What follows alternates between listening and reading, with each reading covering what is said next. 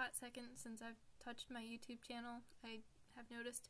Um, and I promise I will be bringing more harp content out hopefully soon. I'm working on something right now. Um, and I don't know when I'll put it out, but we'll see. Anyway, um, I thought I'd pop in here because I haven't found very many videos about um, using MuseScore yet, and um, I actually recently just started using MuseScore 4, and um, I I think it's amazing. Uh, but I did underestimate it a little bit at first because um, there were just little things like um, copy and paste that didn't go as smoothly as Finale, for example.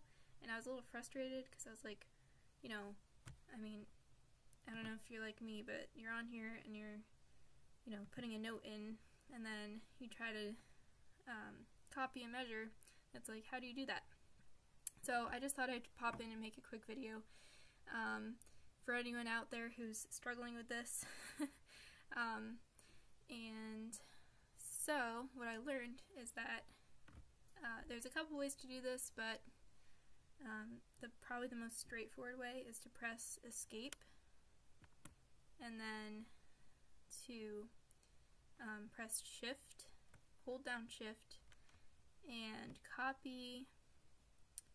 Uh, you just basically highlight all this and let go and then do your control or command C and press your next measure and then command V and everything is copied.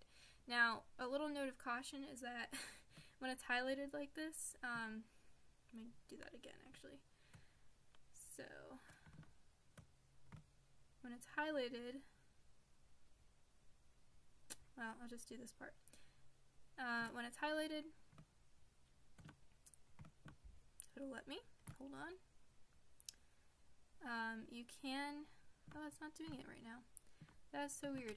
But the last time I highlighted it, it um, moved the notes around and created like a different tune than I was going for, so that's why I have it under future comp.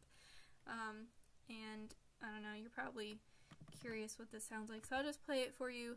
But anyway, um, basically that's how you copy and paste. So if that's what you're here for, there you go. And I'll just play this for you, and then I will end the video.